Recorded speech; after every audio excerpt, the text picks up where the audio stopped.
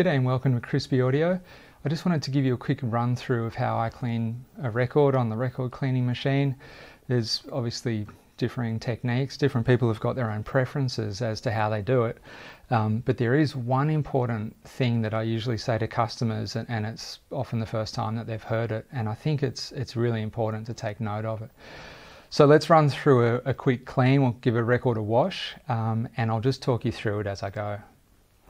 All right, I just bought this Avalanches album, so uh, let's give this a run. It's brand new. Uh, now, you might think that's a bit strange. It's a new record. It should obviously be clean, right? Uh, well, I like to wash my new records because it's a little hit and miss. Um, so when they're pressing the records, they do use an, an anti-stick wax coating on the on the machines itself, and that can leave that can leave a protective coating on the record that I do find once it's cleaned will sound different and perform differently. So it, it's important for me to to remove that if you've got a record cleaning machine. Um, so I, I do do that. The other thing is, uh, and I'm I'm glad this, this illustrates my example. A lot of records just come in a paper sleeve and you can see that there's a lot of dust and debris here. And look, I can get maybe half of that off with my with my anti-static brush when I'm playing. Um, but really, I think you want to get it all off if if you can. So um, the first thing that I do is get rid of this. So you don't want to clean your record and then go back in um, to a dirty sleeve, especially a paper one. So I'm going to ditch that. Uh, and I've got ready, I use the Goldring X-Static sleeves. Um, they're a bit of a hybrid. They've got a paper outer um, and a plastic inner. So I've got that at the ready. Uh, now what you do is you just pop that straight on.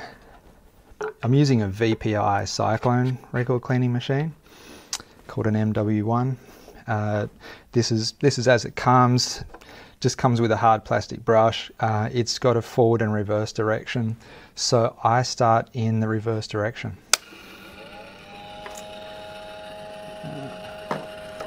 There it is. All right, now the fluid, you just, you, you get used to how much you need to use. You just want enough. You want to cover it from, inner to outer groove and you just want enough so that you've got full coverage on there. Uh, now I'm going back and forth a little bit like brushing your teeth. Uh, I'm, I'm, pressing firmly, but I'm not going crazy with this. Uh, perhaps if you're on an older record, if you just bought a, a second-hand record and it's looking a bit dusty, maybe you do want to push a little harder. I'm going to go in the forwards direction now. The reason I start with reverse first is that with this particular machine and, and probably most of them as well, the suction, the vacuum is designed to work in the forwards direction. Um, you might think, well, surely it works both ways, and it does, but the, the air channel in the felt is slightly offset uh, just to maximize the suction, so that's enough. Um, so forwards direction is where you want to go. Now this is the important tip that I want to give to you. I'll just turn this off before I do it. What you want to do is you, we're going to start in a particular spot and you're going to watch it dry out as it goes around. Once you get to a single revolution, you've had a you've had one full turn with wet felt or wet wet velvet on the record material, which is great. As soon as you've got that felt on a dry um, vinyl, you're going to start to create uh, or induce a bit of static. Uh, and the more that you go, the more static that you're going to introduce. So the quicker you can get this off your record, the better. Uh, and if you've got a half decent machine, you only need one one revolution. So let's have a look.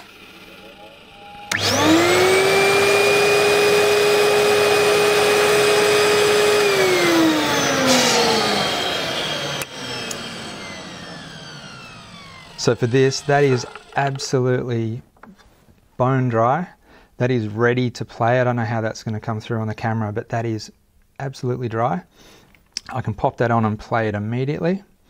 Um, I'll spin it over and give side B a wash. Now that's another question. Some people say, well, your side A was dirty, now it's clean, but your side B was dirty on the platter. Uh, and now you're putting the fresh, clean side onto the platter itself. And that's, look, that's a fair comment. Um, my reply to that is, well, you know, how far can you take this? Like, you could give the platter a bit of a, a blow with a, uh, an, an air aerosol if you want to get that off, or just blow it off with your breath. Um, but look, in reality, sure, you're going to pick up a little bit of that debris from the other side, but it's it's just on the surface, and that's something that you're going to be able to get off with your anti-static brush when it's on the turntable. Um, I'll still give it a run with the anti-static before I play. So that's what I say. I say don't stress.